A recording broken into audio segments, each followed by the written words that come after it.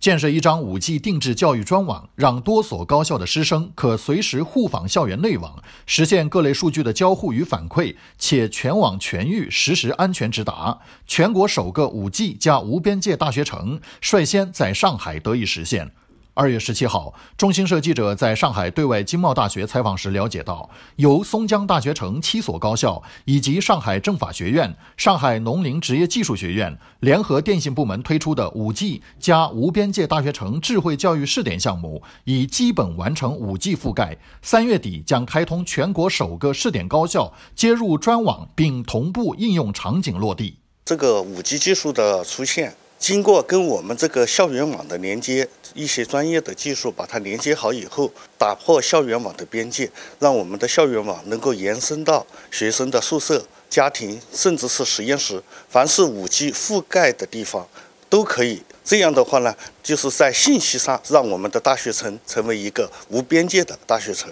上海对外经贸大学信息化办公室主任罗玉红介绍说，松江大学城是上海最大的高校聚集区，各校专业各具特色，互补性强。针对各校在信息化建设，特别是在教学交互、教学手段、校园管理等领域内遇到的瓶颈与痛点。九所高校借助电信云网一体优势，搭建资源共享平台、五 G 精品录播课堂、五 G 加 VR 实验室等，充分体现五 G 超高速大连接、多网融合、安全接入管控、边缘计算等特色，打破了之前学生访问校园内网需要手机安装 APP、VPN 拨号上网慢的传统。我们这个在疫情的防控期间，我们这个学生啊，要到别的高校去参加一些讲座也好，啊，学习也好，选课都是受到一些限制的。由于这个网络的这个呃延伸以后，我们这个学生可以通过手机端，就是通过五 G 信五 G 技术，可以无感知的访问校内的内网。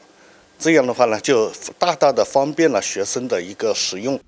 电信部门相关负责人表示，此次探索是松江大学城数字化转型迈出的重要一步。未来项目将不局限于松江或上海，期待持续在全国各类各级高校、教育机构进行推广复制，从而形成一张可在全国互联无界的广域 5G 教育专网，打造教育行业的大数字底座。同时，以 5G 作为网络基座，打通高校的特色资源，并结合云计算、AI 等技术，通过教育大数据的处理与分析，孵化智能化教育类应用，最终实现各类高教人才的复合化培养。我们目前和学校一起计划对 WTO 亚太培训中心的经贸类课程，可以在人员、场地或者疫情防控受限的条件下，通过 5G 技术。进行超高清的直播与远程教学互动。